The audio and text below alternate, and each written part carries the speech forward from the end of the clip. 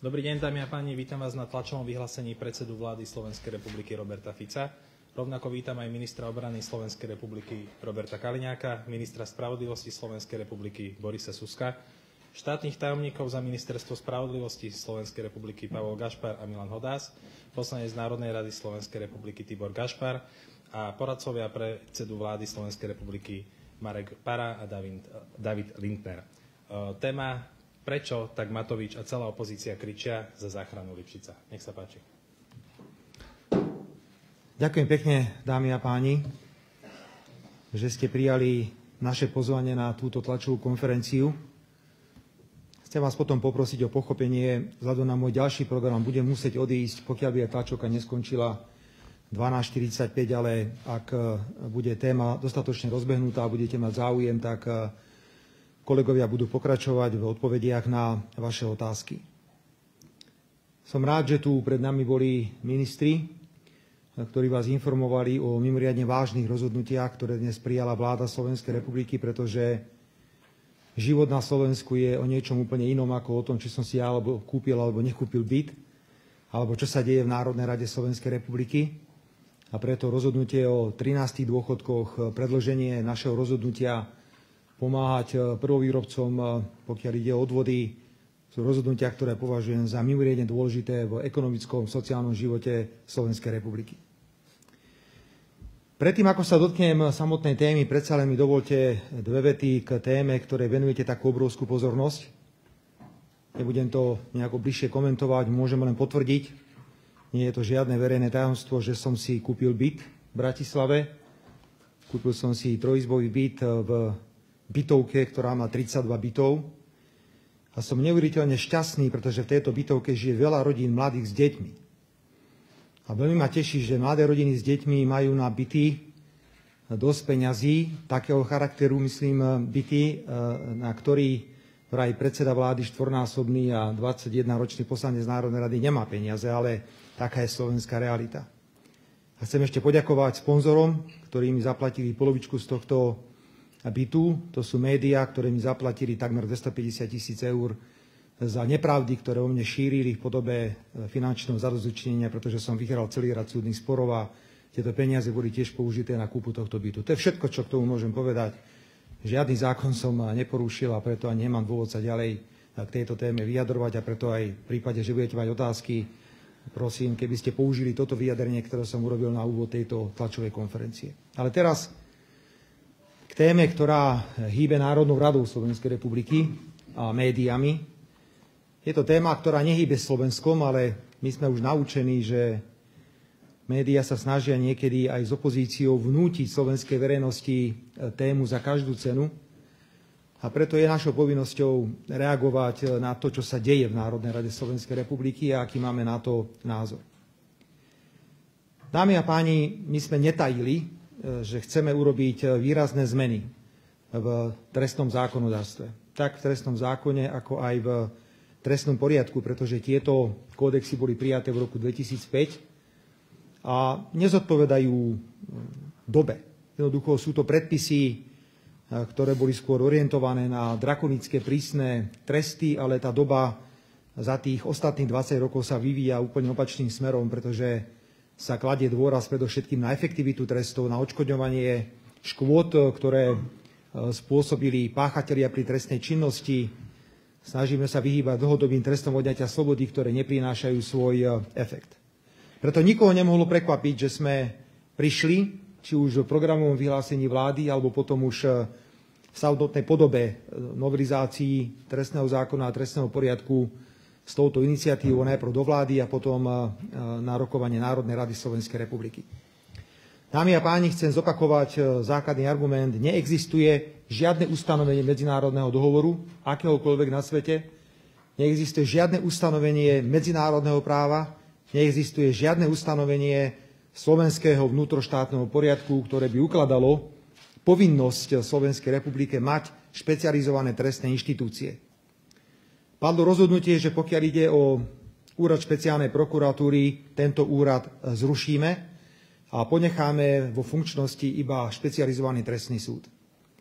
Máme k dispozícii všetky odborné podklady, ktoré potvrdzujú, že Generálna prokuratúra ako taká bez akýchkoľvek ťažkostí vie prebrať agendu Úradu špeciálnej prokuratúry a zabezpečiť e, kontinuitu, pokiaľ ide o vyšetrovanie týchto vecí a potom aj samotné predkladanie e, obžalob a prerokovanie na príslušných súdoch alebo na príslušnom špecializovanom trestnom súde. Nechcem tu pred vami hrať žiadne mimikry a poviem to veľmi presne, pretože politika je o moci a toto je mocenské rozhodnutie, pretože ak sa pozrieme na pôsobenie pána Lipšica, jeho postavenie ako prokurátora špeciálnej prokuratúry alebo špeciálneho prokurátora je neudržateľné.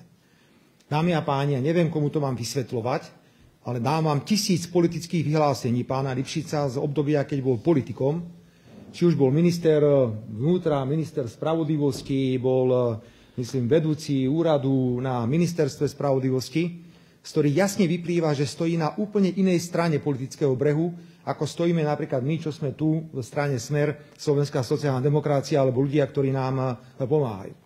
Čiže od samého začiatku bol diskvalifikovaný, pretože nemôžete urobiť špeciálneho prokurátora človeka s významnými právomocami, a ktorý potom so svojimi pocitmi politickými, s tou nenávisťou, ktorá je v ňom, e, ide riešiť e, nejaké veci, ktoré sa týkajú opozície alebo možno predstaviteľov vlády, záleží od toho, kde sa títo ľudia e, nachádzajú. Po druhé je diskvalifikovaný tým, že bol právoplatne odsúdený za trestný čin, hoď nedbanlivostný, ale bol odsúdený za trestný čin je diskvalifikovaný tým, dámy a páni, že je mimoriadne blízky človek eh, pána Matoviča, eh, ktorému slúžil a ktorému je povďačný a ktorému je verný za to, že na jeho chrbte sa pán Lipšic dostal do parlamentu a potom len k tomu eh, došlo, že došlo k dopravnej nehode a potom odišiel z Národnej rady Slovenskej republiky. Plus sú všeobecne známe jeho príbehy o podvodoch, či už s advokátskou skúškou alebo s bezpečnostnou previerkou.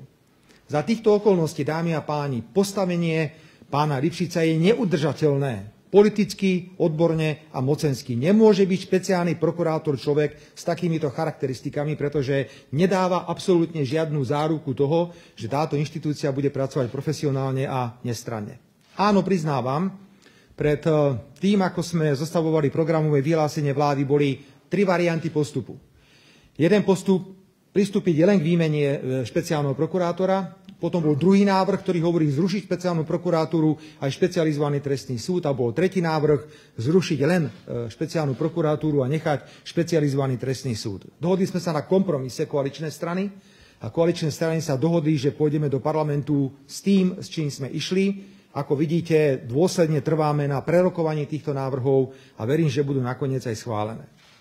Chcel by som e, pripomenúť, dámy a páni, aj to, že takou najvýznamnejšou pripomienkou, ktorá sa objavuje či už zo zahraničia, ale aj tu z domáceho prostredia, je, že prečo tak rýchlo o tom rokujeme.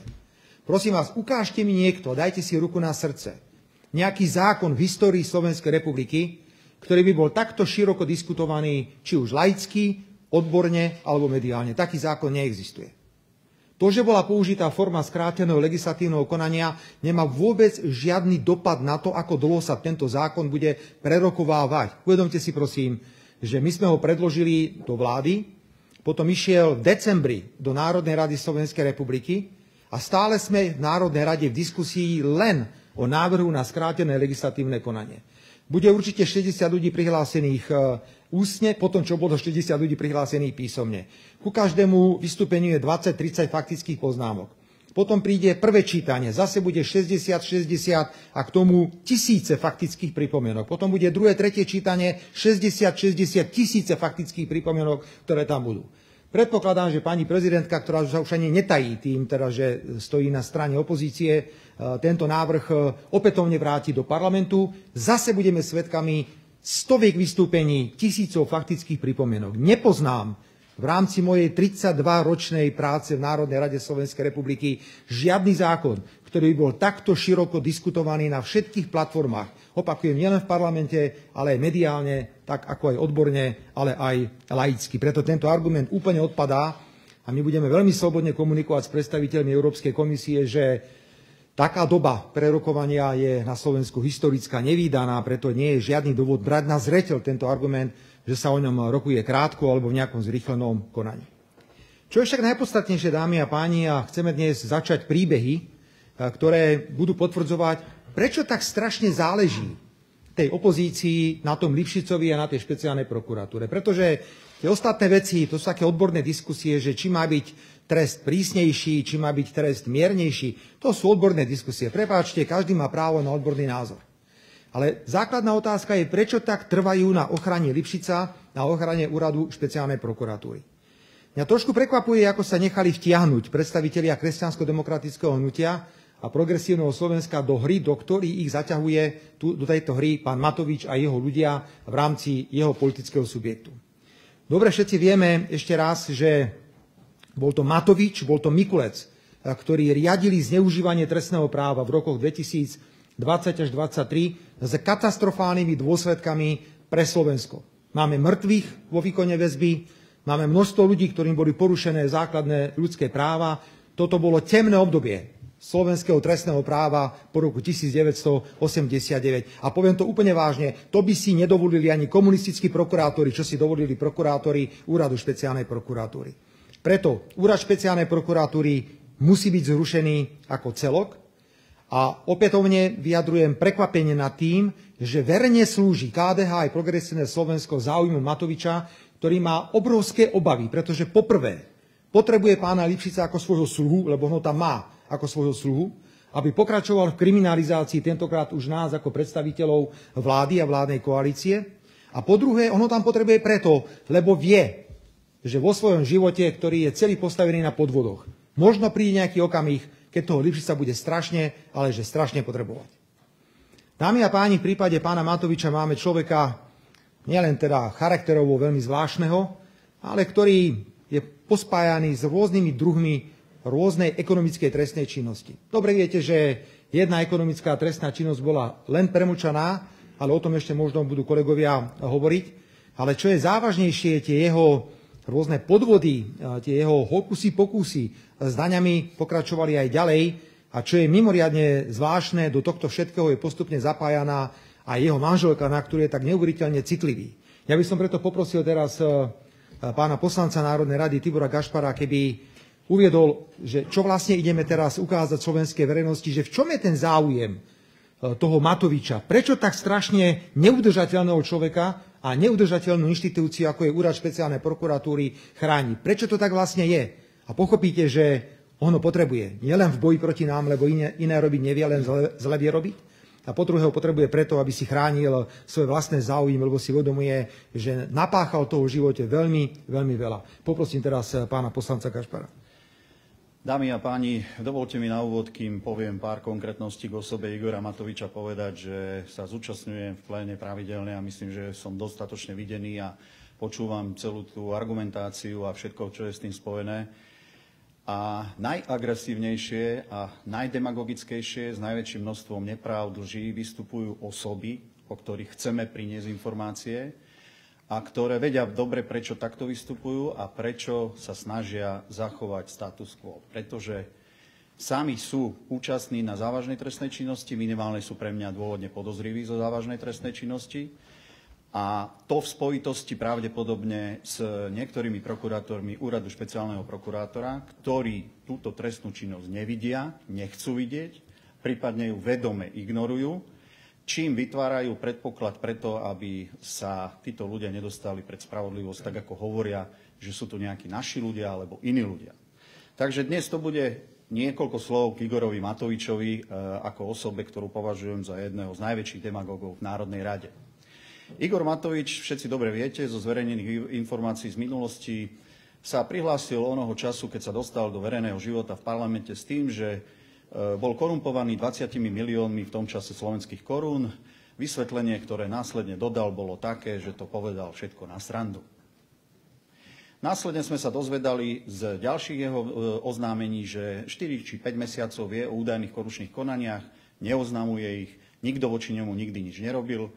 Ďalej sme prišli do kontaktu s informáciami o tom, že vlastne je to daňový podvodník, pretože sa vozil denne so svojou matkou na osobnom vozidle Fabia skoro 700 kilometrov. Nemusím asi tento e, záver alebo toto hodnotenie ďalej komentovať, aby ste pochopili, že toto uviedol do daňového priznania a že samozrejme žiaden príčetný daňový úradník mu toto neuznal. E, bolo o tom rozhodnutie, že len vďaka premlčanosti sa daňový podvodník Igor Matovič nestíhal.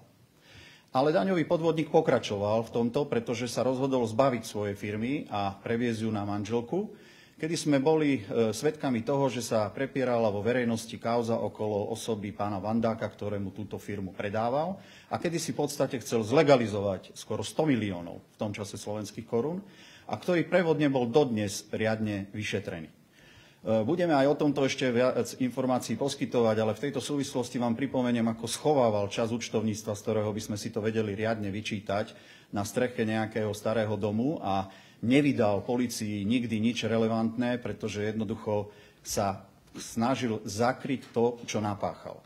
A teraz sa presuniem do aktuálnejšej doby a síce do roku 2020 a poprosím k tomu aj jeden obrázok, kedy v oktobri v roku 2020 už v tom čase väzobne stíhaný najznámejší kajúcník Ludovít Mako vypovedal, a to je dôležité, chcem, aby ste si toto uvedomili, pred prokurátormi USP.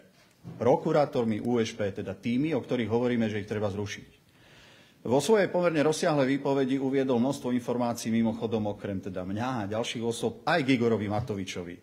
Počas analyzovania, citujem, v skutočnosti súvisiacich so spoločnosťou Region Press sme narazili aj na dámu menom, na ktorej meno si nespomínam, ktorá bola blízkou spolupracovničkou pána Matoviča, ako aj jednou z manažeriek spoločnosti Region Press, ktorá prostredníctvom spoločnosti, v zátvorke presne popísané v schéme, ktorá mi bola zaistená, optimalizovala daňové povinnosti týchto spoločností prostredníctvom rôznych fiktívnych reťazťov smerom na Cyprus a Rakúsko. K obom týmto popísaným skutočnostiam bol u mňa aj zaistený zväzok asi štyroch listín s názvom Čistý Igor. Pochádza to z analytického listu KUFS.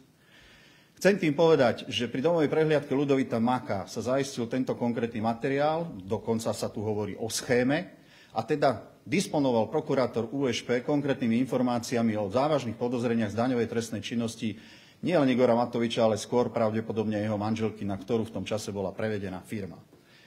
Eh, aby som to podporil, následne sa opäť do kompetencie eh, úradu špeciálneho prokurátora v ďalšej konkrétnej veci dostáva jeden zaistený telefón eh, daňových podvodníkov, v ktorom po extrakcii dát z tohto telefónu sa objavuje aj takáto sms -ka. Poprosím druhú, druhý obrázok. Budem z nej citovať. Eh, blázon premiér a dúfam PS, progresívne Slovensko neprelezie, lebo ešte nemajú všetko spočítané a Lipšic už iste obieha volebné okrsky. Neprelezie, keby tie štyri, čo nemajú, boli 100%, aj ich aj tak sú. V Pčku asi tam je, a potom sa tam spomína ESET. Kiež by boli tvoje slova vyslyšané, len neverím, že s Matovičom upletieme dohodu, priateľ môj. Blázon je v pohode, mám na USB, čo som mu robil veci za roky 2014-2015, idem kúpiť kevku a pastu, tak super, jeho žene za 11,3 milióna a dodávam ešte jednu SMS-ku, len nech ju sa neurobia prezidentom PZ. Tak vážené dámy a vážení páni, túto e, SMS-ku dávam do súvisu s tým, čo som prečítal predtým, pretože podľa mňa to má priamu súvislosť a hovorí sa tam o tom, že pravdepodobne Region Press e, optimalizoval dane v rozsahu 11,3 milióna a že to všetko má nejaká osoba na USB, hoci si myslím, že dáta z daňovej správy a z KUFSu by určite postačovali na to, aby sme dnes videli obvineného Igora Matoviča, prípadne ďalšie osoby, ktoré sú za to zodpovedné e, a boli v postavení, ako som napríklad ja. To znamená, dávam otázku, úrad špeciálnej prokuratúry, konkrétni prokuratúry úradu špeciálnej prokuratúry konajú selektívne? Konajú spôsobom, že si vyberajú len nominantov politickej strany Smer, prípadne osoby, na ktoré ukáže Daniel Lipšic? Toto majú k dispozícii minimálne od roku 2020. Takže otázka znie, prečo nekonajú? A odpoveď znie, pretože Matovič dnes v Národnej rade so svojimi ďalšími kolegami vykrikuje to, že tento úrad nemôže byť zrušený. A na záver tohto príspevku pripomeniem, že nedávno bola zverejnená informácia a bola to dokonca zvuková nahrávka od osoby účastnej na stretnutiach Igor Matovič, Daniel Lipšic a sudca Najvyššieho súdu Juraj Kliment. V tejto súvislosti bolo povedané, že sa stretli na to, aby riešili trestnoprávne kauzy. Tomu hovoríme právny štát? Tomu hovoríme to, čo tu chceme zachovať? To je naopak.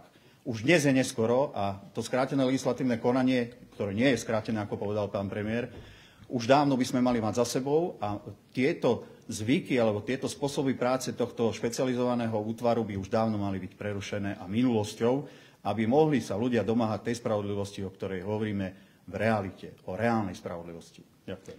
Takže dámy a páni, ako vidíte, od roku 2020 Úrad špeciálnej prokuratúry, samozrejme venovali sa predovšetkým nám, mal k dispozícii informácie, ktoré boli dostačujúce na to, aby konal voči Igorovi Matovičovi jeho manželke.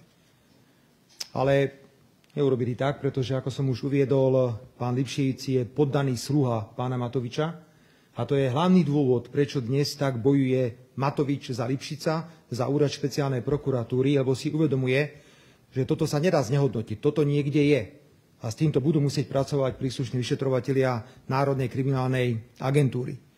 A preto tretíkrát to pripomeniem, ma prekvapuje, že na tieto hry sa nechá nahovárať progresívne Slovensko a kresťansko-demokratické hnutie, pretože rovnakým krikom ako Matovič mu v podstate pomáhajú pretože pán Matovič veľmi dobre si uvedomuje, čo znamená, keď eh, pán Lipšic prestane existovať ako jeho ochránca v aktivitách, eh, ktoré smrdia najzávažnejšou ekonomickou trestnou činnosťou. Budeme pokračovať v týchto príbehoch eh, ďalej, pretože chceme, aby slovenská verejnosť videla, koho to vlastne chráni tá opozícia. Čo sú to za prokurátori úradu špeciálnej prokuratúry, čo všetko navystrájali za tie tri roky. Nech teraz slovenská verejnosť vidí, že kto je ten, za koho tak e, kričí v Národnej rade Slovenskej republiky taká významná časť poslancov Národnej rady. Aby sme povedali možno aj dve, tri odborné veci, ja by som teraz poprosil pána ministra spravodlivosti, keby sa vyjadril možno k dvom, trom najznámejším, najsilnejším argumentom, ktoré sa objavujú v Národnej rade a zareagoval na ne, pretože, ak dovolíte, v Národnej rade na to naozaj nie je priestor. Nenevajte sa, ale ja tam chodím do tej Národnej rady to vyžaduje špeciálnu prípravu ráno predtým, keď idete do Národnej rady, to zvládli, tam teda čo predvádzajú tí páni z opozície. Preto si myslíme, že je v podstate správnejšie v kľudnej atmosfére vysvetliť, v čom teda je náš postoj, e, pokiaľ ide o otázky alebo otázniky, ktoré sú kladené opozičnými poslancami. A ja teraz poprosím pána ministra, keby to minimálne v dvoch, troch prípadoch urobil. Ďakujem pekne, dámy a páni. Eh, ja som sa pokúsil včera vystúpiť aj v pláne Národnej rady a zdôvodniť eh, ďalšími doplňujúcimi informáciami návrh na skrátené legislatívne konanie, keďže som bol vyzývaný niekoľkokrát, ale ako ste mohli vidieť aj v pléne, poslanci terajšej opozície nechcú počúvať dôvody a vysvetlenia, oni chcú, aby sme im povedali to, čo chcú sami počuť a čo si chcú sami vložiť do úst. Takže takto asi demokratická diskusia nefunguje. Takže ja by som sa rád vyjadril možno k niektorým e, takým odborným zásadným e, výhradám, ktoré, alebo politicko-odborným, ktoré, ktoré padajú v parlamente. A e, to je najmä otázka toho, že, že kritizujú terajší opoziční poslanci, že ideme meniť trestné sádzby preto, aby sme pomohli vlastným ľuďom, respektíve, že ideme prilákať kriminálnu činnosť na Slovensko. V prvom rade treba povedať, že pokiaľ ide napríklad o trestné činy korupcie, tak hovoria, že, že ideme vlastne zabezpečovať beztrestnosť naš, našich ľudí, lebo budú môcť vyviaznúť s podmienkou. No je potrebné povedať, že aj dnes pri obrovských eh, korupčných eh, trestných činoch, ktoré hrozia jednotlivým kajúcníkom, sú títo odmenovaným eh, benefitmi v rámci uzatváraných dohod vidia na treste, kde končia s podmienkami a s s minimálnymi finančnými trestami. Takže baviť sa o tom, že či my tým, že meníme trestnú politiku štátu a meníme jednotlivé trestné sadzby, ideme niekomu pomáhať, je, je úplne smiešný, smiešný argument. Treba povedať, že my sme si to dali do programového vyhlásenia vlády a hovorili sme tu už aj pred voľbami, že chceme zmeniť e, trestnú politiku štátu z e, trestnej, samotnej, represívnej na, na prevýchovnú. Sú rôzne zahraničné štúdie, ktoré hovoria o tom, že ako náhle je niekto dlhšie ako 5 rokov v výkone trestu odňatia slobody, tak takýto človek je len veľmi ťažko opäť začlenený do spoločnosti a e, vo vysokom percente sa dopúšťa opäť recidívy, to znamená, keď sa dostane na slobodu, znova pácha trestnú činnosť.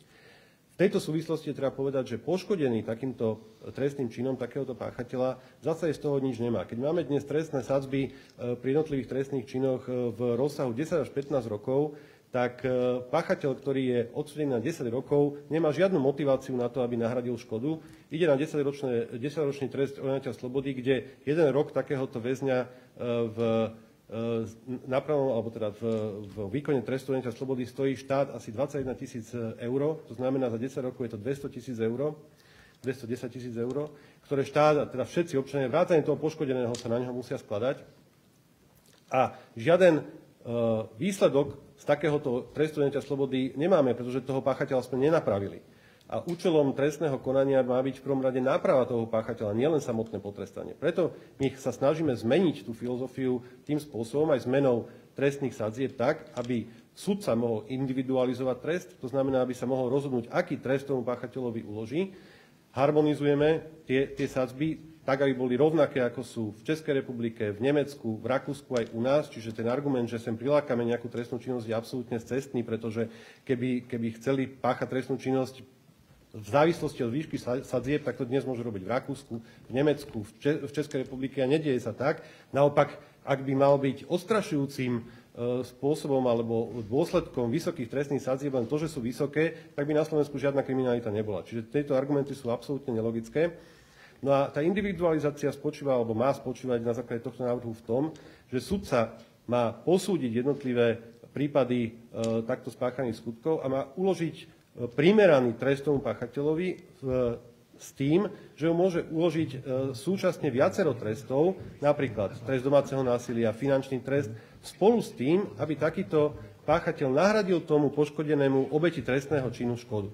A to je podľa mňa e, ten moment, ktorý vlastne mení tú trestnú politiku štátu v tom, že nielen samotný trest odňatia slobody, ktorý nemá žiadnu, e, žiadnu prevýchovnú funkciu, ale to, že ten páchateľ bude musieť nahradiť škodu, dostane plus k tomu finančný trest, alebo trest domáceho väzenia, alebo e, verejnoprospešných prác, alebo iný takýto alternatívny trest, a ďalej si bude musieť na seba zarobiť, to znamená, štát na neho nebude musieť doplácať, bude začlenený naspäť do spoločnosti a má si uvedomiť a prevýchovať sa, aby to takýmto spôsobom druhýkrát neurobil. Ak to spraví druhýkrát, tak samozrejme potom už sudca môže v rámci tých trestných sadzieb každom jednom jednotlivom prípade uložiť aj trest odňatia slobody. Môže to urobiť aj v prvom prípade, ak vyhodnotí, že takýto trest, napríklad podmienečný alebo finančný, je nedostatočný pre toho páchateľa. Čiže tie argumenty, ktoré počúvame v parlamente o tom, že ideme tu e, zabezpečiť beztrestnosť pre jednotlivých páchateľov, je absolútne zavadzanie a klamstvo.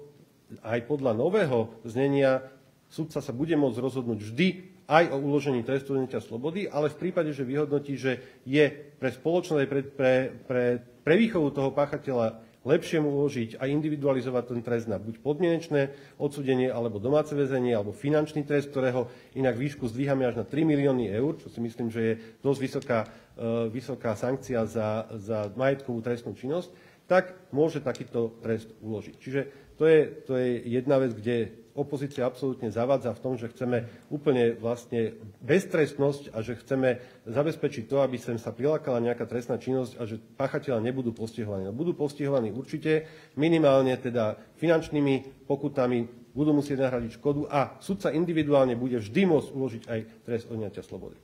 Pokiaľ ide o ďalšiu zásadnú vec, ktorú chceme e, v tejto novele riešiť, je z hľadiska trestného procesného práva zabezpečiť transparentnosť e, uzatvárania dohodu a vinia treste a e, pôsobenie jednotlivých spolupracujúcich obvinených. Dnes máme situáciu, že týmto ľuďom hrozí naozaj obrovské, obrovské vysoké tresty, 15 až 20 rokov. Nakoniec pod tlakom týchto vysokých trestov, keď povedia čokoľvek na kohokoľvek, alebo sa priznajú aj k tomu, čo, čo nespravili, pretože ak sa niekto prizná a uzavrie dohodu a vinia treste, a to je podstatné, tie dôkazy sa už nemusia vykonávať pred súdom. To znamená, sa neoverujú, že či je to pravda alebo či je to nepravda.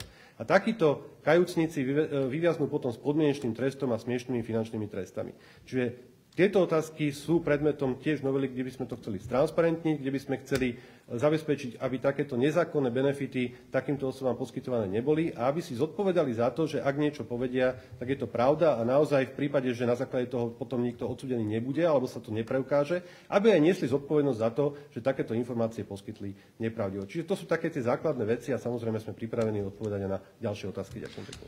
Je evidentné, dámy a páni, že o tento typ odbornej diskusie v parlamente nie je žiadny záujem, pretože ak niekto príde s takou hrubou demagógiou, že depenalizáciou a dekriminalizáciou budeme lákať e, páchateľov z iných krajín, aby páchali trestné činy na Slovensku, na to jednoducho e, niekedy na takouto hlúposťou sa ťažko len čo zamyslieť, na to ešte nejako reagovať. Veľmi správne hovorí pán minister, prečo teda keď sú v iných krajinách, v Rakúsku, vo Švédsku, že nehovorím v severských krajinách, podstatne nižšie tresty ako na Slovensku. Prečo teda nechodia slovenskí páchatelia do Švedska kradnúť autá, lúpiť, e, ja neviem, možno páchať nejakú inú majetkovú trestnú činnosť? Pretože jednoducho to nie je pravda, ale znovu pripomínam, o toto nie je záujem Národnej rade.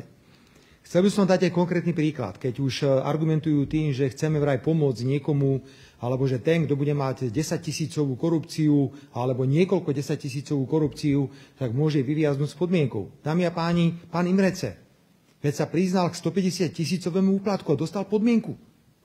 Veď to už je teraz. Nehovoriac o tom, že je tam e, legalizácia a úplatok vo výške 1,3 milióna eur, ktoré sa ani nevyšetrujú. A pritom je evidentné, že sa to stalo. Takže keby bol záujem v Národnej rade na vecnej diskusii, no tak sa toho zúčastníme, ale keď to počúvate, že hlavný expert na trestné právo je profesor Pročko a, a, a docent Mikulec, tak potom sa nečudujte, že a, naše postoje sú zdržanlivé a skôr sa snažíme reagovať vecne na tlačových konferenciách. A ešte jeden argument, lebo chcem, aby tomu ľudia rozumeli. To je prísnosť trestov. Prísnosť trestov nikdy nezabezpečovala, že odstrašujú. Možno som ten príklad už niekde hovoril, viete, že som sa venoval trestnému právu profesionálne. Jeden krátky príklad. V minulosti sa popravovali ľudia aj za vreckové krádeže verejne. Popravovali sa verejne, okolo toho popraviska bolo 30 tisíc ľudí, popravovali tam človeka za vreckové krádeže a medzi tými 30 tisíc ľuďmi chodili vreckoví zlodeli a kradli. Tak teda kde je ten odstrašujúci účinok toho trestu?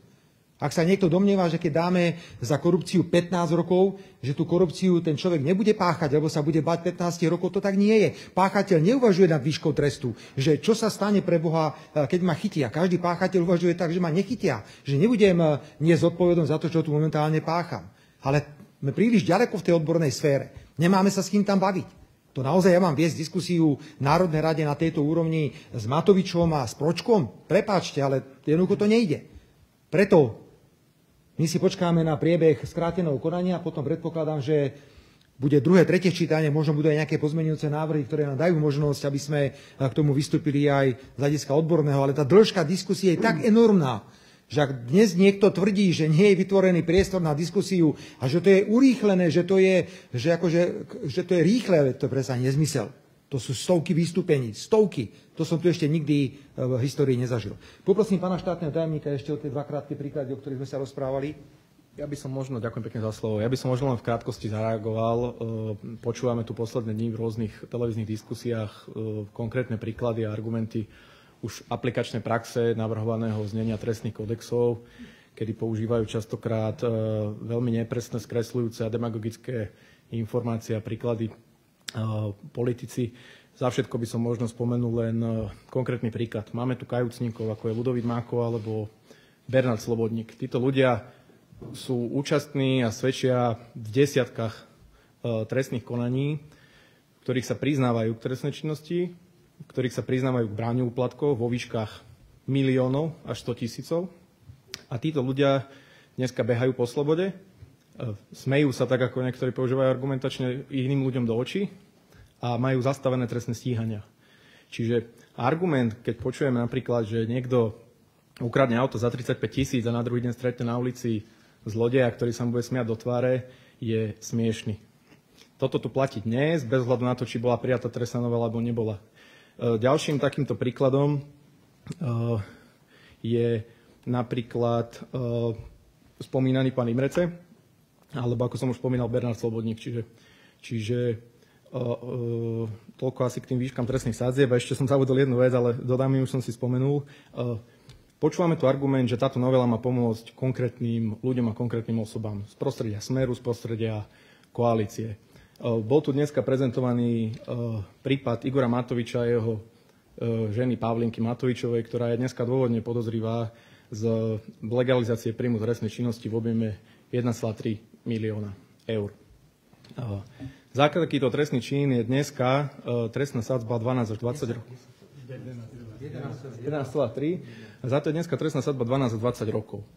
Po uh, prijatí tejto novely, tam bude, myslím, 2 až 10 alebo 3 až 10, dneska som si není uh, uh, istý. Čiže používa tento argument, vieme aj my a úplne opačným smerom a viem tu dneska vymenovať niekoľko desiatok takýchto prípadov, či už sú tu vrtolníky pána Mikulca alebo ďalšie kauzy, ktoré tu boli spomínané za 3,5 roka, či už to je celá tá covidová oblasť, ktoré tu robili, keď tu nakúpali vakcíny a podobne. Takže to je asi všetko z mojej strany. Ďakujem pekne. Ďakujem. Nech sa páči otázky, ak máte. Tam vzadu. Dobrý deň, Vildová RTVS. Ja ešte k tej odbornej diskusii, ono aj e, Rada prokurátorov hovorí, že sa im nepačí to skrátené legislatívne konanie, čiže keď sa aj od, odhliadneme od parlamentu a poslancov opozície, tak Rada prokurátorov rovnako vlastne Európska komisia kritizuje to skrátené legislatívne konanie, čiže Pani či možno na toto nejako zareagovať. Ja som to predsa povedal ešte raz. V čom je skrátené to konanie? Povedzte mi, ako sú tí poslanci obmedzení v čom? Pani redaktorka, my sme o zámere ísť do významných zmien v trestnom práve hovorili už pred samotnými voľbami. Dobre viete, že sme o tom hovorili na mítingoch, dokonca hlas sociálna demokracia išiel ešte ďalej ako my. Oni hovorili, že nevidia problém v zrušení týchto inštitúcií. My sme skôr hovorili, že poďme to personálne riešiť. Padlo rozhodnutie. Prijali sa hneď e, návrhy zákonov. Hneď sme spustili všetky potrebné procedúry. Kto im v čom bráni? Každý jeden má právo vystúpiť, e, pokiaľ sa písomne prihlási 20 minút. Na každého z nich je 30 až 40 faktických poznámok. Každý jeden, ktorý sa chce prihlásiť, môže o tom hovoriť. Veď už rokujeme o tom druhý mesiac. Ja nepoznám taký zákon. Teraz zabudnite na to, že sa bol použitý. Inštitút skráteného legislatívneho konania nám len umožnil to dať do parlamentu. Že sa nemuselo čakať 15 dní. Ale čo tých 15 dní zmenilo? Nezmenilo nič, keby aj bolo k dispozícii. Takže tento argument sa úplne vyparil. Tento argument už neexistuje pretože diskutuje sa od rána od 9. do večera do 8. od pondelka do piatku. A môžu diskutovať, koľko chcú. Nikto im ničom nebráni. A budeme takto podľa všetkého rokovať do marca. No pretože ak si zoberieme, že do konca januára budeme zvládať e, toto, čo máme teraz na stole, potom to pani prezidentka vráti cez veto a ten proces sa bude znovu zopakovať. Aké skrátené konanie? V čom vidíte obmedzenie tej diskusie? Obmedzenie diskusie by bolo vtedy, keby sme teraz zastavili rozpravu alebo povedali, že ideme skrátiť rozpravu na 12 hodín, čo rokovací poriadok Národnej rady umožňuje, ale to neurobíme. No veď nech diskutujú.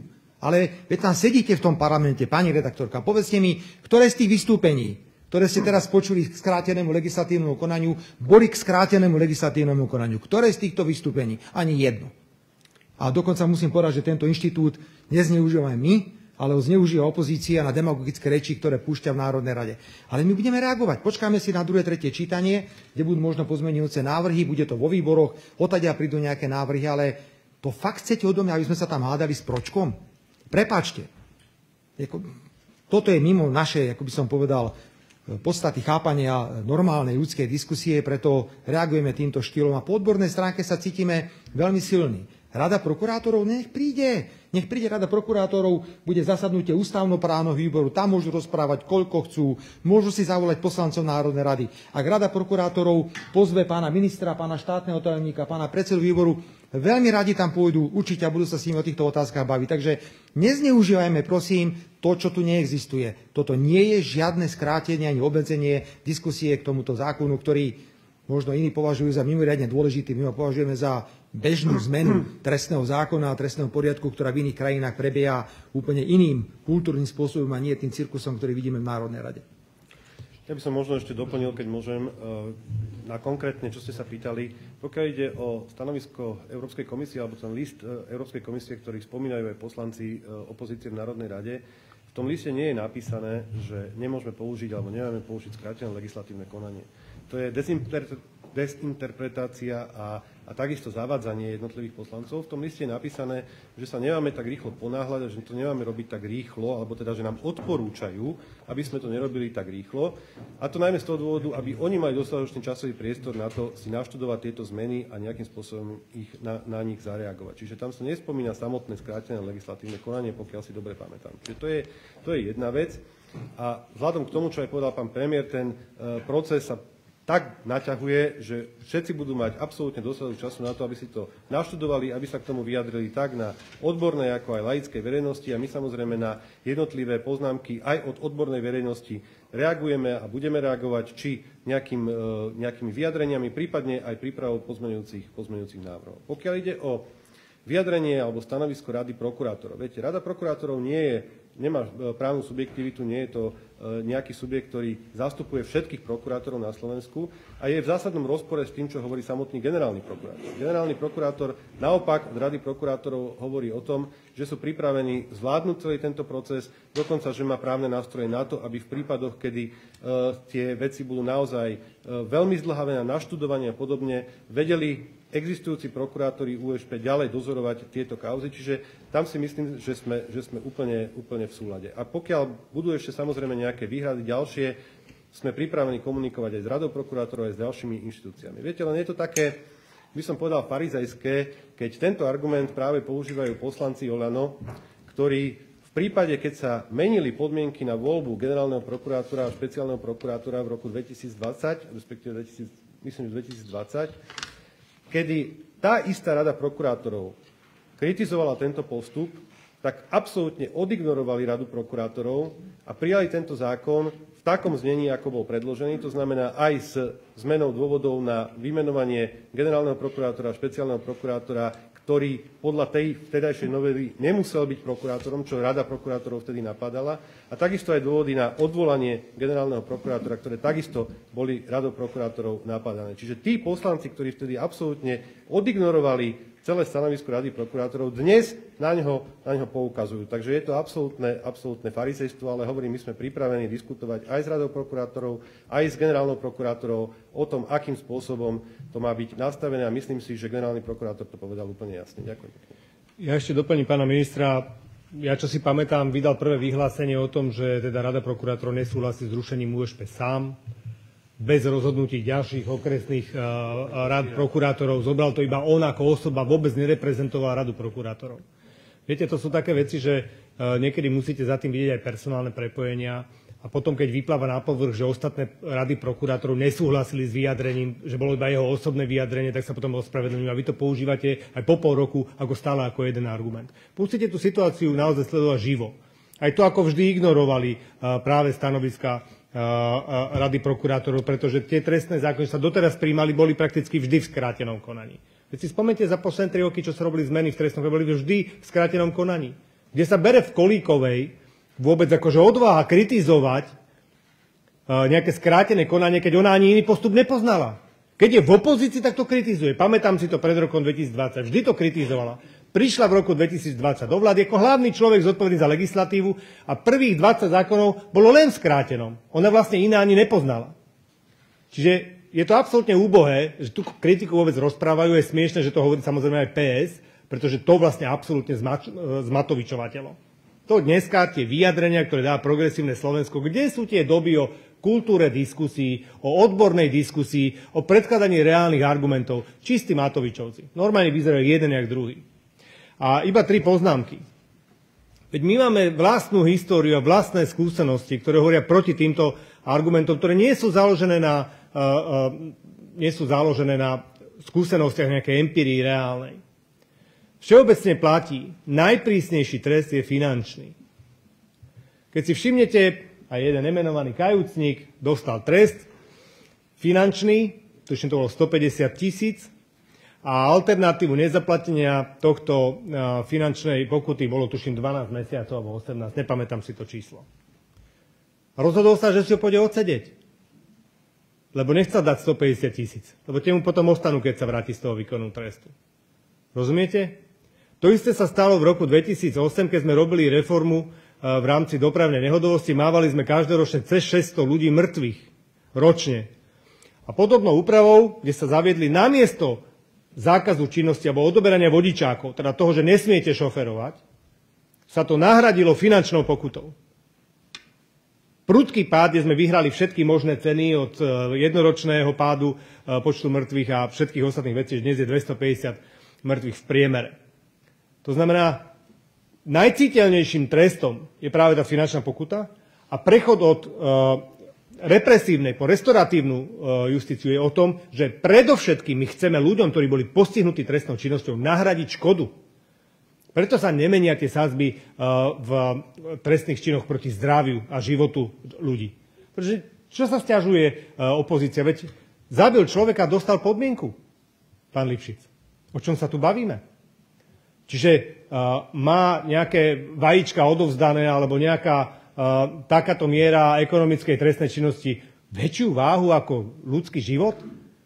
Za znásilnenie máte menšie sádzby ako za to, že urobíte DPH 100 tisíc? To máme riešiť? Ako veď už si upracme trošku tie priority. Ľudský život má byť ako prvý. Zdravie má byť hneď za tým. Pamätáte si smrť e, toho mladého Filipínčana na SMP? Aký bol trest? Od prvostupňového súdu 6 rokov? Však sa spamätajme, už nerozprávame len preto, lebo je to proti smeru, tak sa nám to všetko hodí. PSK má zásadný problém, progresívci, že oni vlastne nemajú žiadnu tému a sú radi, že toto by mohlo byť proti smeru, tak bojujú. V skutočnosti ale už dnes schválili a všetky tie tresty, ktoré sme popisovali za tie veľké korupcie, boli jednoducho boli jednoducho podmienečné, čo sa ukladajú dnes. Tu ide len o to, že princíp má byť nahradiť škodu, potom môžeš chcieť menší trest a samozrejme s finančnou pokutou, aby ťa to už do budúca nenapadlo. Ukradneš milión, daj sa milión naspäť, zaplať ďalší milión pokuty a potom si myslím, že už vás to druhýkrát nenapadne okradať štát o DPH alebo nejakých ľudí na podvodoch. O tom to presne je. A keď nezaplatí, samozrejme odsedí si dlhoročný trest. Ale to je presne ten princíp, že prioritu má mať náhrada. A posledná vec, ten vývoj je prírodzený. 260 eur, ktoré je dnes ako základ pre niektoré ekonomické trestné činy v rámci škody, pochádza spred 20 rokov. A vtedy bola minimálna mzda 260, zhruba 230 eur. Bola minimálna mzda. Dnes je minimálna mzda 750 alebo 730 eur a škod, uh, hladina škody sa pohybuje vlastne na úrovni 700 eur, kde to začína. Čiže len to kopíruje finančný vývoj. Ten treba ako. My sme nikdy neboli za to, aby bol naviazaný uh, škodovosť na rast uh, minimálnej mzdy alebo rast priemernej mzdy alebo čokoľvek, pretože to by sa tí sudcovia pri výpočte zbláznili každýkrát. Táto novela dáva priestor sudcovia by rozhodol. Od 700 do 35 tisíc, no tak samozrejme v závislosti od výšky ide, preto je aj tá sázba pomerne široká. Čím viac, tým horšia sadzba, tým väčšia finančná pokuta, tým horší trest. Veď to je predsa prirodzené, sudca má byť ten, ktorý má rozhodovať. Ale keď máte za zabitie alebo dokopanie 6 rokov a za DPH máte mať 10, no to má aký význam? Štát tú DPH naspäť nedostane. Preto tam vlastne má ísť tá prvá možnosť. Náprava škody, náprava škody u občanov, náprava škody u štátu. To má byť vždy na prvom mieste. Veď to je vlastne moderná justícia, ktorá všade vo svete. Preto sa im vlastne nahrádza tá škoda, ktorá je trestnými činmi spôsobená. Tak si myslím, že by sme sa mali naozaj trošku začať venovať racionálnym, nielen politickým hádkam, ale to, čo vlastne predvádzajú v parlamente dnes čistá politická hádka, bez absolútnych základov, kde ani tie pravidla nevedia, že niektoré trestné činy proste nemajú ten základ hneď v sume, ktorú je potrebné napríklad pri krádeži vlámaním ukradnúť, ale že to je trestný čin už len preto, že sa to stalo. Ďakujem. Ďakujem, na toto som sa síce nepýtala. Keďže pán premiér odišiel, tak otázka na vás, pán minister Susko. Ide mi skôr o to, že pri štandardnom legislatívnom procese sa môžu do diskusie zapojiť aj naozaj odborná verejnosť, ktoré napríklad si vytvorili analýzu, čo sa týka preplnenosti väznic. To percento ľudí, ktorí sú vo väzniciach za ekonomickú trestnú činnosť vôbec nie je také, ako vy tvrdíte v tej dôvodovej správe. Čiže možno nejaká reakcia teda na to, že nebolo možné vyjadriť sa naozaj odborníkom, ja nehovorím o poslancoch v parlamente, ale odborníkom k tejto legislatíve. Neviem, kto, kto spochybnil čísla, ktoré sú uvedené v dôvodovej správe z hľadiska väzenstva, pretože tie čísla vychádzajú aj z kontroly výboru CPT, ktorý tu bol nedávno a vychádzajú zo štatistík, ktoré sú priamo z analytického centra aj Ministerstva spravodlivosti, aj zo samotného zboru väzenskej justičnej stráže. Čiže neviem, kto to spochybňoval. Nemám takú informáciu, že niekto spochybňoval tieto čísla, čo sa týkajú ako indexu väzenstva. Je pravdou, že dnes je najčastejšie používaným trestom v rámci trestného systému na Slovensko ukladanie trestu odňatia slobody. A to e, nehovorí o tom, alebo nenaplňa to ten znak, o ktorom som už hovoril, aby sme zabezpečili prevýchovu toho, toho páchateľa. Čiže e, ten sekundárny efekt práve aj zvýšenia výšky škody za skutok, od ktorý bude nejaké konanie trestným činom na 700 eur z hľadiska aj inflácie, aj z hľadiska e, toho, že ten vývoj cien na trhoch tovarov a služieb od roku 2005 dramaticky stúpol a my len kopírujeme výšku minimálnej mzdy, tak ako to bolo vždy, pretože kedysi e, bol trest, respektíve skutok, za ktorý bol ktorý bol trestným činom naviazaný priamo na výšku minimálnej mzdy. Keďže to spôsobovalo problémy aplikačné v prípade ukladania trestov samotných pri prechode cez roky, keď sa menila výška minimálnej mzdy, tak sa to v roku 2005 zafixovalo na fixnú sumu 266 eur.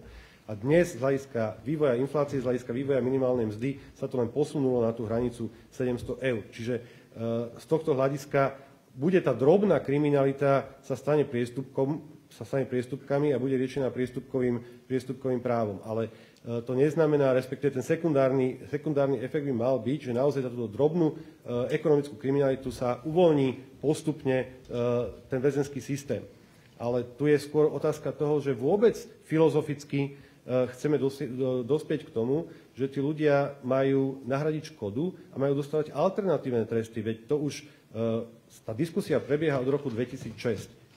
Intenzívne tá diskusia prebieha posledné tri roky, kde už E, novelu, ktorú predkladal do parlamentu minulý rok, respektíve v poslednom roku volebného obdobia minulého pán minister Karas, e, takisto počítala so zvyšovaním e, tej výšky škody. On hovoril, že 500, my hovoríme 700, pretože už prešiel nejaký čas, ten trestný zákon má nejaký čas platiť. To znamená, musí to byť aj do budúcnosti nejakým spôsobom ustálené, ale ten rozdiel podľa, analýzy, podľa analýzy, ktoré máme, hovorí o naraste asi, asi 200 ľudí ročne, čiže tam ten dramatický rozdiel nejaký medzi 500 a 700 nie je.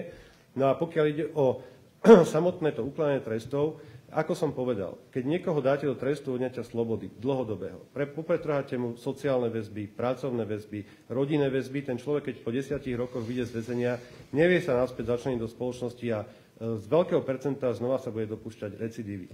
Nie je pre spoločnosť lepšie, ak ten človek nahradí škodu, ak bude povedzme v domácom väzení alebo zaplatí finančný trest, a bude ďalej si sám na seba zarábať. Nebudeme sa mu musieť my všetci skladať na náklady, štá, ktoré stoja štát e, jednotliví väzni a e, ak si zamestnávateľ bude ďalej zamestnávať ľudí, bude sa starať o svoju rodinu a tak ďalej. Čiže čo, je, čo vlastne štát chce? Chceme mať krvavé oči a každého zavrieť do basy, alebo chceme, aby, ak sa niekto niečoho dopustí, aby nahradil škodu aby bol primerane potrestaný, ale aby bol aj naspäť začlenený do spoločnosti a ďalej fungoval reálne a štandardne tak, ako by fungovať v spoločnosti mal. Čiže toto je naša filozofia, čo chceme a ja si myslím, že to chcú všetci občania Slovenskej republiky.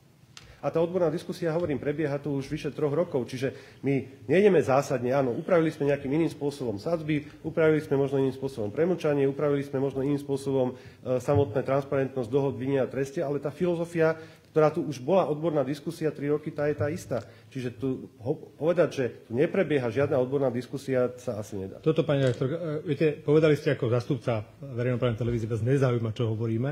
Tak dobre, ja to rešpektujem, že vás to nemusí zaujímať, ale potom naozaj si musíte naštudovať veci, že veď predsa toto nie je prvá reformná novela trestného zákona, ktorá je za posledné mesiace parlamente. A tá verejná diskusia tam vždy bola dostatočne dlhá a tie princípy sú absolútne identické. A presne tie princípy boli využité v tejto novele. Čiže tá diskusia len pokračuje ďalej. Pekný deň, Dominik Papala, Report. Ja mám otázku na pána Gašpara. Pán Gašpar dnes oznámil duo Krupa a Kolíkova, že dajú do parlamentu návrh na vaše odvolanie z funkcie predsedu bráno bezpečnostného výboru a odôvodňujú to vašim trestným stíhaním, obvinením a tak ďalej by sme to mohli menovať. Ako to vnímate v kontexte už spomínaného Daniela Lipšica, kvôli ktorému účelovo menili zákon, čo už aj pán Susko na tejto tlačovej konferencii spomínal, um, aby sa on mohol stať potom šéfom USP v tom 20. roku. To znamená, že aj ten podvod získania advokátnej skúšky otázky justičnej a um, zároveň um, tam zároveň za záhadných okolností, ak sa nemýlim, s Krajniakom a Národný bezpečnostný úrad získal taktiež tú bezpečnostnú previerku a tak ďalej by sme to mohli menovať. Uh, opäť je to nejaký dvojaký meter opozície, alebo ako sa máme na to pozerať? Áno, presne ste mi e, zobral to, čo som chcel použiť, pretože tak, ako som vysvetloval dvojitý meter zo strany e, činnosti špeciálnych prokurátorov vo vzťahu k niektorým osobám, tak aj tu sa uplatňuje určite dvojky, dvojaký meter. Je to e, nejaká koordinovaná činnosť opozície. Ja by som e, použil jednu odpoveď a jednu krátku poznámku. Viete, mne dali mandát občania v nedávnych voľbách vo, vo výške skoro 140 tisíc hlasov. A je na ďalších poslancov parlamentu, ako budem e, v parlamente pôsobiť. A ja si myslím, že za tých niekoľko týždňov a za tie dve či tri schôdze, ktoré sme v zásade absolvovali, vedia, prečo sa snažia zamerať na moju osobu. E, ja budem nekompromisne pomenovávať všetky problémy, ktoré sa týchto ľudí týkajú a ktoré sú není riešené. Ale chcel som ešte doplniť, prosím vás, tu skrátené legislatívne konanie. Riešime tu, či je čas, či nie je čas a hovoríme o tom, či tieto týždne naplňajú. Ja to môžem povedať z vlastnej životnej skúsenosti a tvrdím, toto je jeden zo zákonov, ktorý je tak transparentný pre skrátené legislatívne konanie, že už viacej sa ani nedá. Jeden z dôvodov, ktorý je, a ten je najväčší, hrozia škody na ľudských právach, základných slobodách. Inštitúcia, ako je USP, to, že používa dvojaký meter, to už som povedal. Tá sa podiela aj v súčasnosti na tom, že používa dvojaký meter a zasahuje do ľudských práv a slobod. To treba prerušiť urgentne, hneď. Dnes viem, a bolo opäť o tom niečo už e, vo verejnom priestore, robia sa účelové vyšetrovania s účelovou právnou kvalifikáciou pod vedením a dozorom úradu špeciálneho prokurátora, kde sa nezmyselným spôsobom opäť používa slovo korupcia voči osobám, ktoré diskutujú na Facebooku, ktorí si dovolili kritizovať Čurilovcov a tento systém vo facebookových príspevkoch ktorí hovoria a zverejnili možno niektoré médiá, niektoré nahrávky e, Čurilovcov z kancelárii. Tak vedie sa konanie opäť na Národnej kriminálnej agentúre pod dozorom nejakého konkrétneho prokurátora z USP. V týchto chvíľach. Preto hovorím, že už je neskoro. Že toto treba čím skôr zrušiť. Toto je inštitúcia, ktorá nemá kontrolný orgán nad sebou. Veď už to pochopte. Okresný prokurátor má nad sebou krajskú prokuratúru, krajský prokurátor generálnu prokuratúru. Oni sa samokontrolujú. Alebo ich kontroluje v tom lepšom prípade nadriadený. Kto je nadriadený? Daniel Lipšic. Ten, ktorý by tam nemal sedieť, určite. Ten už má právoplatné rozhodnutie, mimochodom, pán Papala, keď ste spomenul, on má právoplatné rozhodnutie, on je odsudený. Ja som stále v rovine, kde platí prezumcia neviny. Ale to skrátené legislatívne konanie je túto najlepším príkladom, ako je odôvodnené. Tu hrozí denne porušovanie ľudských práv. Ako k tomu má prísť občan Slovenskej republiky, ktorého zavolá na telefón, chceme si s vami pokecať, vyšetrovateľ, o údajnej korupcii. No samozrejme, keby to bolo na úrovni dozoru okresného alebo krajského prokurátora, tak si takéto niečo asi ani nedovolí. Preto hovorím, že to pokračuje a že to bude pokračovať, dokedy sa neurobí táto zmena, ktorá má zabezpečiť e, nastolenie opäť právneho štátu a dostatok kontrolných mechanizmov. Ďakujem. Možno ešte jedna, jedna doplňujúca odpoveď. Viete, argumentujete tu napríklad stanoviskom Rady prokurátorov, respektíve niektorými stanoviskami alebo názormi, e, ktoré sú proti týmto navrhovaným zmenám, ale nikto nehovorí o tom, že tu máme x podporných argumentov a podporných názorov odbornej verejnosti, ktoré hovoria v prospech tejto novelizácie. Či už si pozriete právne listy, odborný časopis sudcovskej verejnosti, ktorý komentuje tieto zmeny a komentuje ich vo viacerých prípadoch pozitívne. Či tu máme výzvu právnikov za, za dodržiavanie právneho štátu, ktorá bola v, z roku 2020, myslím, prvá, teraz sa organizuje druhá, kde už je podpísané množstvo odborníkov z trestného práva, kapacít právnych z trestného práva, ktoré podporujú či už zrušenie úradu špeciálnej prokuratúry, alebo tieto zmeny na restoratívnu justíciu. Máme tu ďalej e, štúdiu Slovenskej advokátskej komory z minulého roka, ktorá konštatuje, že až 64% trestných právnikov, ktorí boli dotazovaní na to, že či sa v predprípravnom a prípravnom, pardon, v predprípravnom a prípravnom konaní až 98 advokátov trestných, ktorí sa zaoberajú trestným právom, potvrdilo, že sa stretli v rámci prípravného a predprípravného konania donúteň, s donútením. To znamená, to sú všetko argumenty, ktoré nás oprávňujú konať rýchlo a oprávňujú nás práve na tieto zmeny, ktoré navrhujeme v tejto novele robiť. Čiže odborná diskusia prebieha, možno neprebieha v rámci priamo MPK, ale prebieha na tej najširšej verejnej úrovni. Ďakujem. Dobrý deň, Zelenková televízia. Ja by som sa ešte vrátila jednou otázkou. Vy spomínate vlastne to, že tri roky sa tu o tom diskutovalo a už tu bola jeden návrh, konkrétne pána Karasa. On ale včera povedal u nás v našej relácii, že vlastne je to radikálne zmenené to, čo vlastne on predkladal a vybrala sa tam z toho iba nejaká časť. Dokonca povedal, že uh, hrozí aj generálna amnestia, respektíve, že už je to hotová vec presne na tieto ekonomické a korupčné trestné skutky, keby ste sa k tomu vyjadrili. V prvom treba povedať, že e, pán bývalý minister Karas nie je trestný právnik, ale nie som ním ani ja, ale e, áno, išli sme možno v ušie v rámci tejto novely, pretože sme vybrali len tie veci, ktoré vnímame v rámci skráteného legislatívneho konania ako naozaj podstatné, ktoré z hľadiska porušovania princípov demokracie a právneho štátu za ostatné 3 roky boli porušované.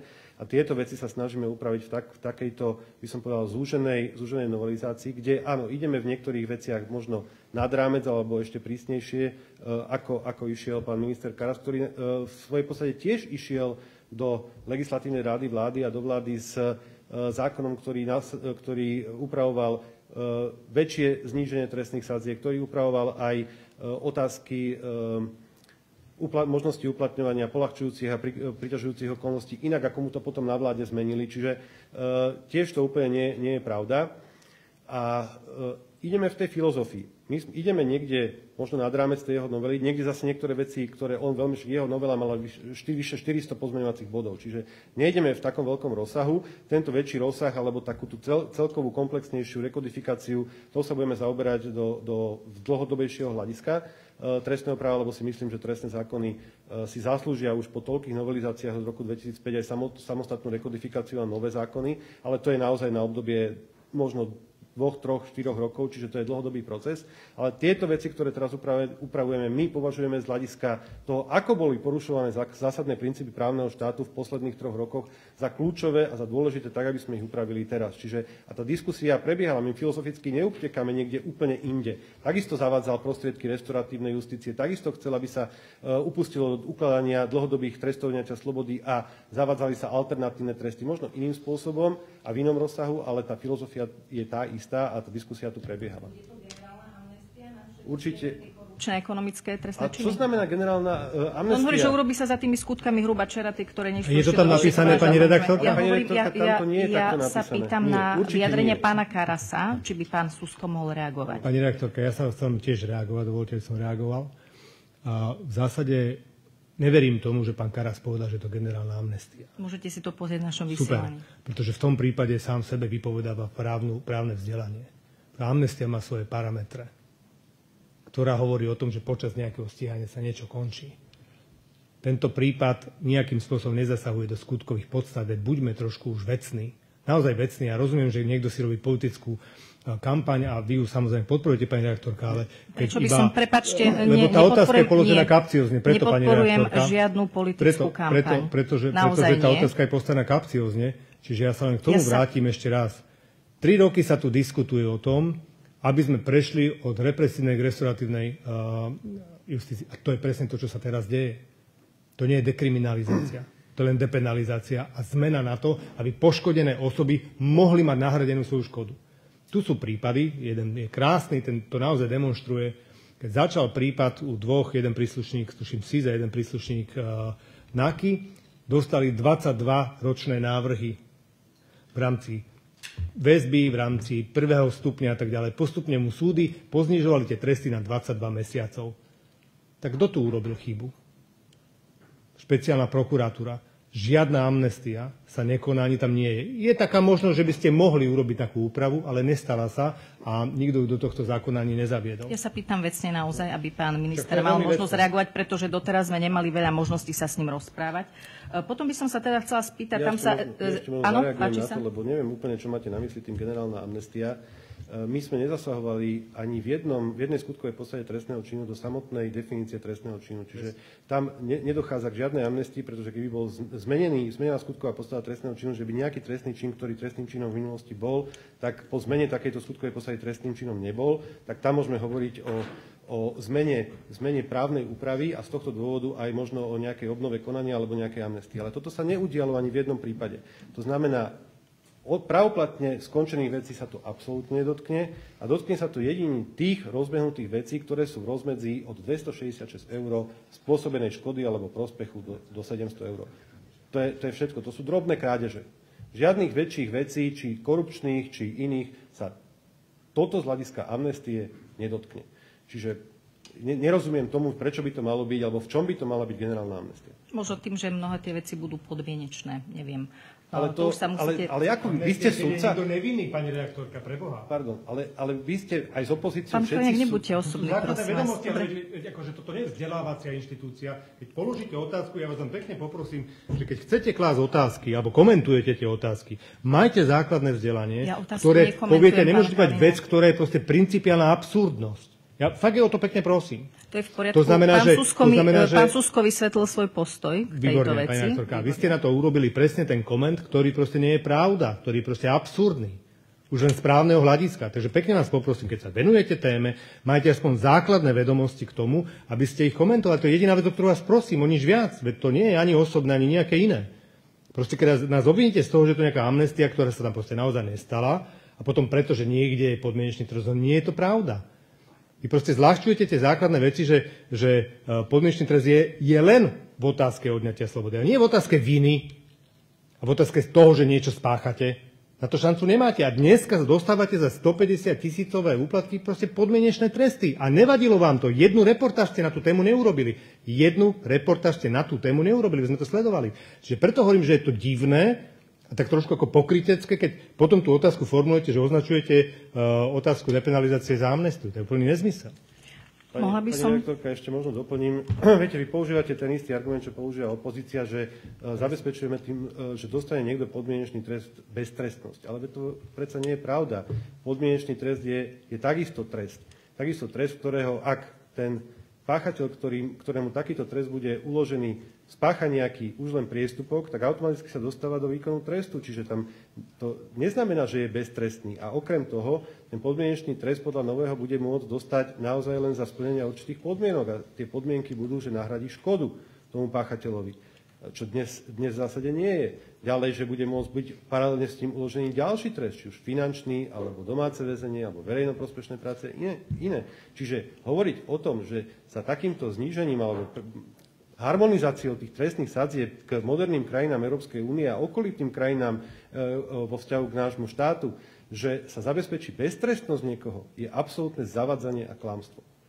Ešte raz opakujem, ja tu netlmočím žiadne svoje názory. Vychádzam z diskusie, ktorá to už bola, či už zo strany mimovládok, opozície, alebo aj bývalých ministrov, politikov a podobne. Takže sa pýtam tie veci.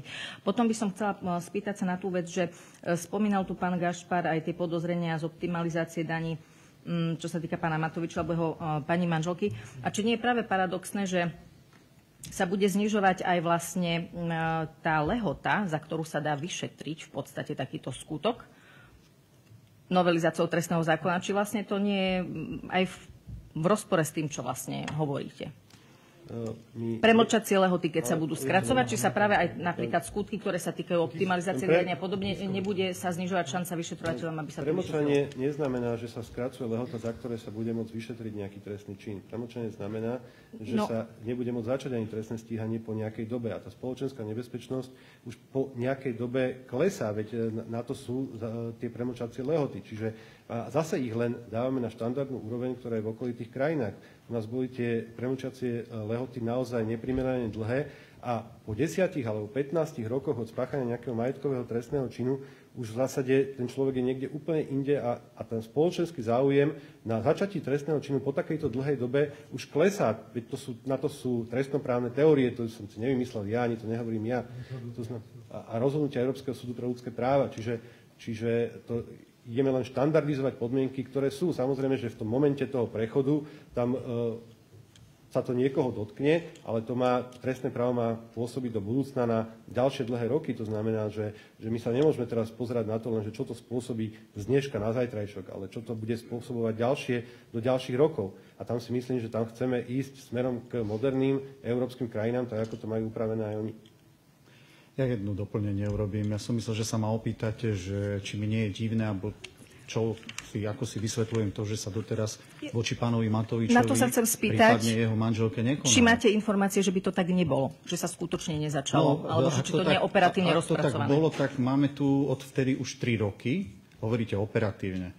Od tohto vysluchu, ktorý som ukázal, prešli dva týždne, ja som išiel do väzby na tvrdení jedného kajúcníka, Takže sa trošku... Nie, pýtam sa, ja či máte nejaké teda ja, informácie, ja že by nezačali vyšetrovať, roky, neboli by tam, tam aj nejaké listinné, výsluchy alebo sú podobne. dôkazy, tam už dávno mohlo byť rozhodnuté, tak jak mohlo byť rozhodnuté o Sulíkovi, nie je rozhodnuté, ak mohlo byť rozhodnuté dávno o Mikulcovej zodpovednosti, nie je rozhodnuté, lebo to sú naši ľudia, to sú ľudia, ktorých krylo USP vo všetkých kauzach, ktoré sa ich týkajú.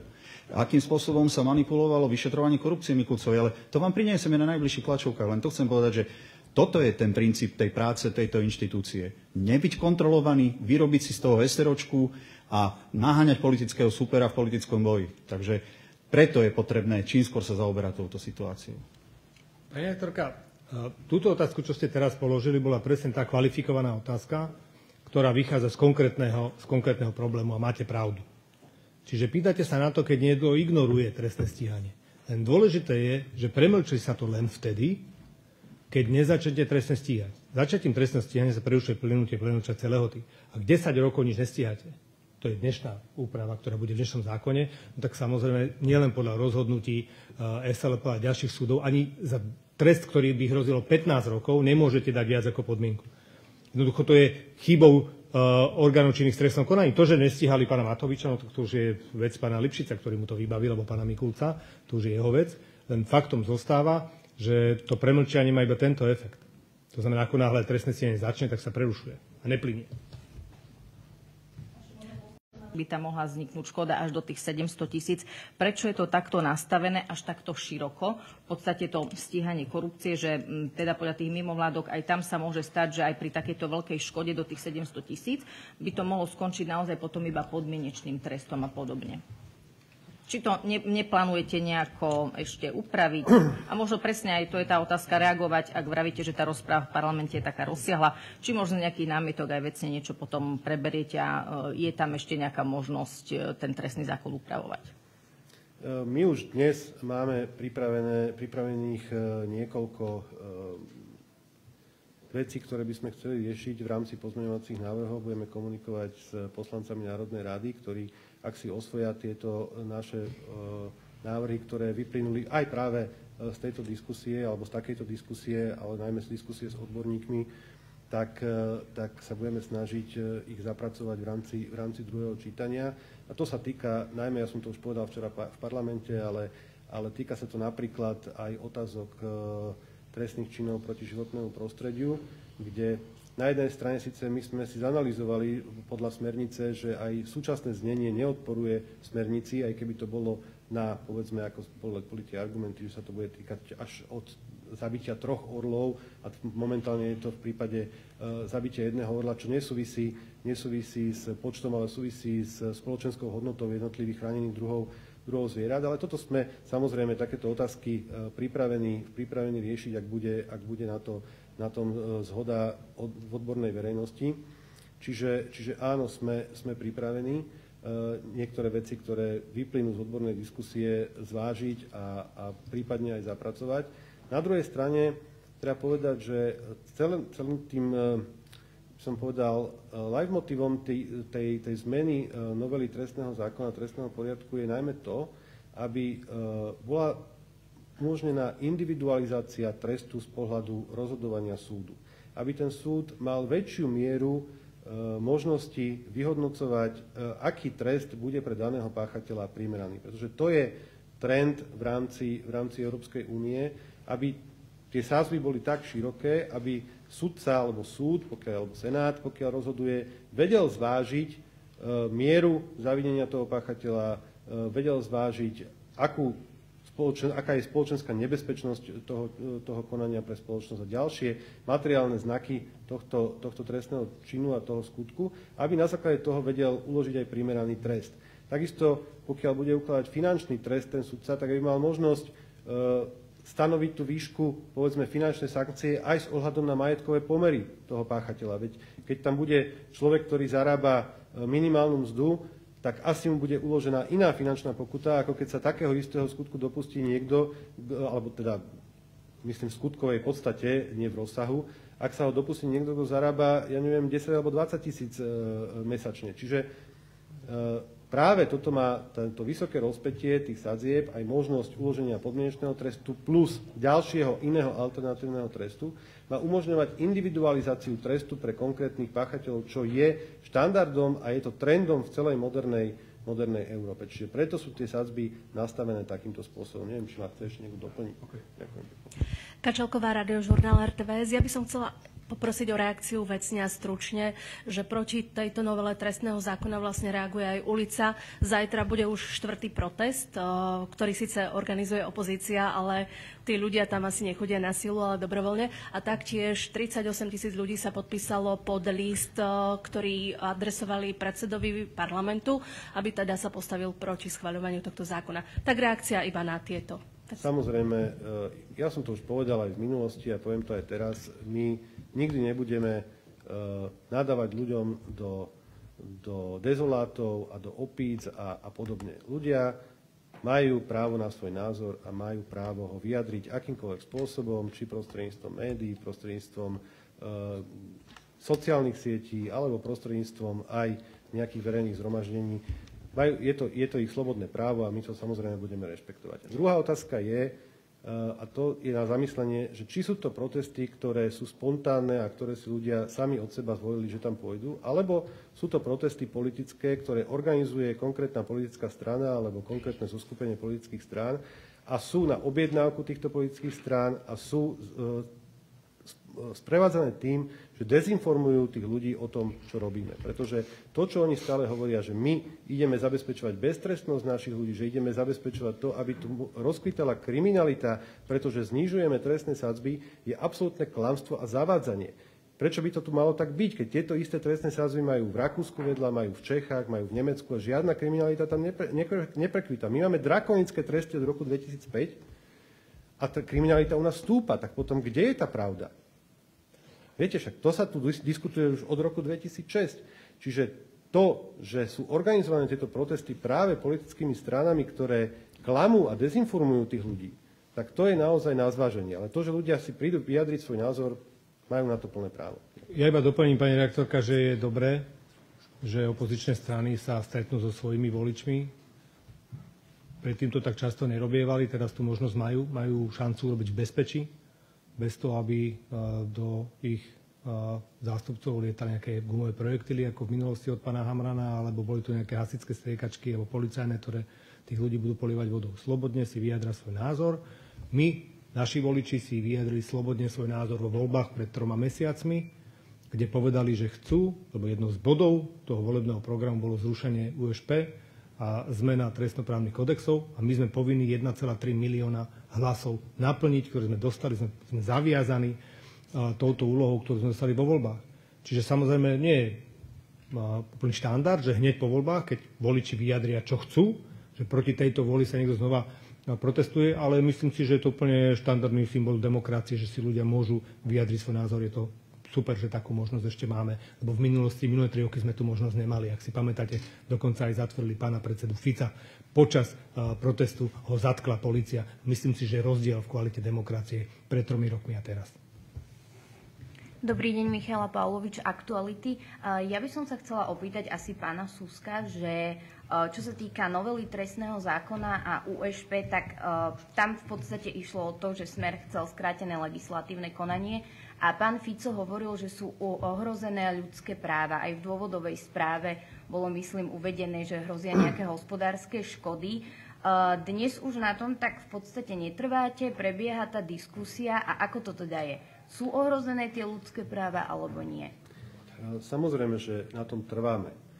Nikdy sme nepovedali, že na tom trváme. My trváme na tom, že za ostatné tri roky sa masívnym spôsobom začali zneužívať základné ľudské práva a slobody v rámci e, trestných konaní, a to najmä v prípravnom a predprípravnom konaní a v konaní o väzbe.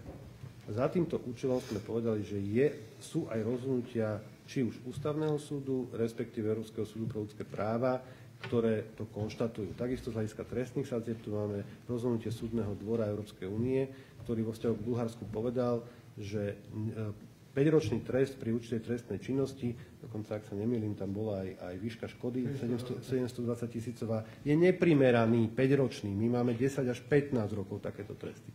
Čiže reagujeme aj na tieto rozhodnutia či Ústavného súdu, Najvyššieho súdu, respektíve Európskeho súdu pre ľudské práva a Súdneho dvora Európskej únie. Ale to nie je jediný argument, ktorým, ktorým odôvodňujeme zrušenie úradu špeciálnej prokuratúry. To je len podporný argument, že tu máme aj rozhodnutia súdov. Ale my sme boli svedkami za ostatné tri roky v jednotlivých trestných konaniach a z legálne získaných dôkazov z odposluchov a z trestných spisov z jednotlivých kauz, kde zo správy Slovenskej informačnej služby, ktorá to celé odštartovala a ktorá povedala, že e, vyšetrovatelia Národnej kriminálnej agentúry v spolupráci s prokurátormi Úradu špeciálnej prokuratúry manipulujú trestné konania. Boli tam dôkazy, ktoré o tom svedčia.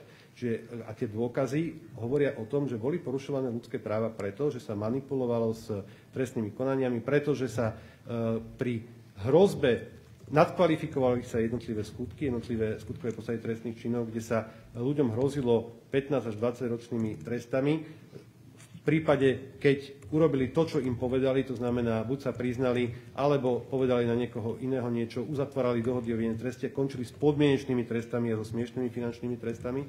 Čiže toto sú všetko dôkazy, ktoré hovoria o tom, že sú tu dôvody, kde boli porušované ľudské práva a slobody, nielen na základe rozhodnutia Ústavného súdu, ale na základe konkrétnych skúseností z aplikačnej praxe, ktoré hovoria o tom, že práve v tejto inštitúcii bola najväčšia miera porušovania ľudských práv a manipulácie trestných konaní a je táto, vzhľadom k tomu aj ako sa stal e, špeciálny prokurátor špeciálnym prokurátorom, ako spolitizoval celú túto inštitúciu, tak táto inštitúcia sa nestala, alebo nie je nestrannou a nezávislou, ale je práve závislou od politickej moci.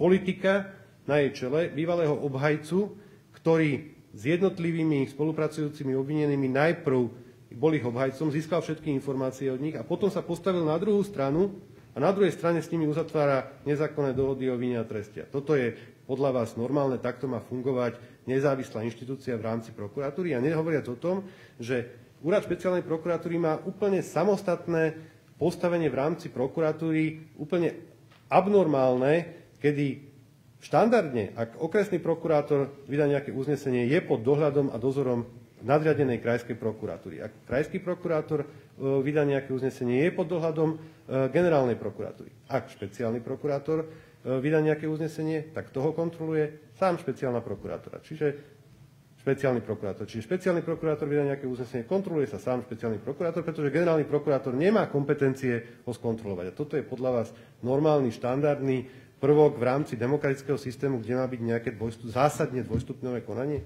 Čiže e, celý úrad špeciálnej prokuratúry práve preto, že sa spolitizoval, že na čelo sa dostal politik, bývalý obhajca, ktorý tých istých ľudí, ktorých obajoval, dneska s nimi uzatvára dohody o vinia treste a naviedol na toto aj ďalších, nehovorím, že všetkých, to treba zdôrazniť, že nie všetci prokuratúry, úradu špeciálnej prokuratúry sú, sú takýmto spôsobom manipulovaní, ale podstatná časť z nich je.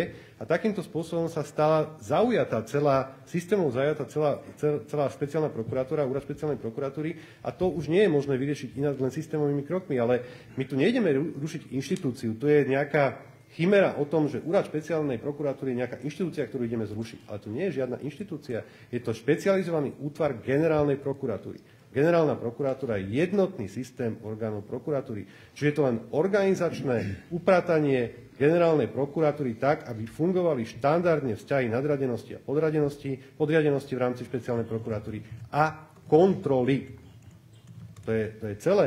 Veď tu nemáme žiaden predpis, ktorý by nám prikazoval mať takýto špecializovaný útvar na úrade generálnej prokuratúry. Bolo to v nejakom čase zavedené, malo to nejaký zmysel, splnilo to svoj účel, Bohužiaľ sa stalo to, čo sa stalo a dnes to treba vyriešiť inak.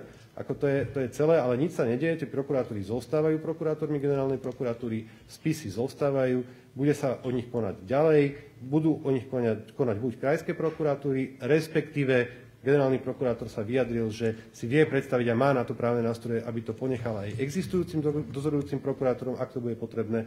Čiže nič dramatické, dramatické sa nedeje, len to, že títo prokurátori už možno nebudú mať násobne vyššie platy ako bežní prokurátori, že e, títo prokurátori nebudú mať také by som povedal, výsostné postavenie ako iní prokurátori a budú štandardne pracovať ako všetci ostatní prokuratúry, generálnej prokuratúry, respektíve krajských prokuratúr. Ďakujem. Pani redaktorka, dovolte by, aby som doplnil, aby sme sa k tomu nemuseli vrácať, pretože sa to stále a stále opakuje. Stručne sa vám budem snažiť vysvetliť v prípade. Nie je pravdou to, čo podsúvate verejnosti, že pán premiér teraz nejakým spôsobom uhol od e, argumentácie vo vzťahu k splneniu podmienok legislatívneho konania, skráteného legislatívneho konania. To nie je pravda. Pravdou je, že sa tomu nepotrebuje ako predseda vlády venovať, pretože to je, to je fakt, ktorý je nespochybniteľný. A poviem vám prečo. V tomto konkrétnom prípade, v prípade trestných zákonov trestne, trestného poriadku, čiže hmotnoprávnych, procesnoprávnych predpisov, tak ako aj vo vzťahu k zrušeniu špeciálnej prokuratúry, je treba povedať, že sú splnené všetky zákonné podmienky. Dokonca tri zákonné podmienky na to, aby táto legislatívna zmena mohla prebehnúť v skrátenom legislatívnom konaní. Poprvé, opakovane ohrozenie základných ľudských práv a slobod, tak na úrovni zneužívania hmotnoprávnych ustanovení, ako aj trestnoprocesných ustanovení. Nadkvalifikácia trestných činov, extenzívny výklad trestného zákona zo strany štruktúr špecializovanej prokuratúry, e, zneužívanie inštitútu väzby z hľadiska procesného, zneužívania inštitútu zaistenia majetku. Napokon nám dal zapravdu už aj ústavný súd. Ďalej, ohrozenie bezpečnosti štátu ak tu máme inštitúciu typu špeciálna prokuratúra, ktorá absolútne nerešpektuje svoj nadriadený orgán, ktorým je generálna prokuratúra ako hlava monokratickej štruktúry prokuratúry v rámci legislatívnej úpravy, akú máme dnes, tak je tu dualita, ktorá je neprípustná, ktorá je v priamom rozpore s princípmi právneho štátu. Tu nerešpektujú špeciálni prokurátori, predovšetkým pán špeciálny prokurátor nerešpektuje generálneho prokurátora, nerešpektuje e, jeho postoje, nerešpektuje jeho právne názory, nerešpektuje jeho kompetencie. Napríklad kompetenciu v prípade paragrafu 363, ktorú obchádzajú tým, že e, návrh e, obžalobu podajú skôr, ako rozhodnú o tom, či uznesenie o znesení obvinenia je alebo nie je zákonné. Čiže ako, ak hovoríme o ohrození bezpečnosti štátu, tak bezpečnosť štátu je aj fungovanie ústavných inštitúcií. Generálna prokuratúra je ústavný orgán a pokiaľ sa v nej nachádza prvok, toxický prvok, ktorý toxikuje celú generálnu prokuratúru a celý systém prokuratúry, tak takýto prvok musí byť odstránený a preto hovorím o ohrození bezpečnosti štátu. A po tretie, hrozia aj hospodárske škody. My sme nedostatočne transponovali niektoré smernice, buď nedostatočne, alebo vôbec smernica týkajúce sa, týkajúce sa práva na informácie. Veď sa pozrite, akým spôsobom informujú opäť špecializované trestné zložky na čele so špeciálnou prokuratúrou obvinených o ich obvineniach. Absolútne nejako. To, čo robia, je čistá formalita. Čiže hrozia hospodárske škody z toho dôvodu, že môže nastať infringement, že sme tieto smernice nedostatočne transponovali. Rovnako smernica týkajúca sa zaistenia majetku to, čo sme tu mali dnes, bolo zneužívanie tohto inštitútu zaistenia majetku a ústavný súd nám dal zapravdu, takže aj týmto e, reagujeme na novelu. Čiže v tomto konkrétnom prípade, opakujem, boli splnené všetky tri zákonné podmienky na to, aby sa išlo inštitútom skráteného legislatívneho konania. A navyše toto, čo sa teraz deje, nie je už skrátené legislatívne konanie, pretože takáto rozsiahla diskusia ja si osobne nepamätám. Takže to je stručné k tomu skrátenému legislatívnemu konaniu, aby sme sa k tomu nemuseli už vrácať. Ja len na moju obhajobu, že to nejde o nejaké podsúvanie, že pán premiér uh, cukol, ale on vyslovene povedal, že sú ohrozené ľudské práva a predsa len to už je závažné vyhlásenie. Ale ďakujem. Uh, ešte ja, som... ja vás poprosím, naozaj posledná otázka už teraz bola, lebo pre krátkosť času jednoducho a pre ďalší pracovný program. sme hodinu a pol, aj keď našou vinou samozrejme, ale... Tak, ne, nehnevajte sa, ale pre dnešok to bude všetko. Uvidíme sa na budúce. Ďakujeme veľmi.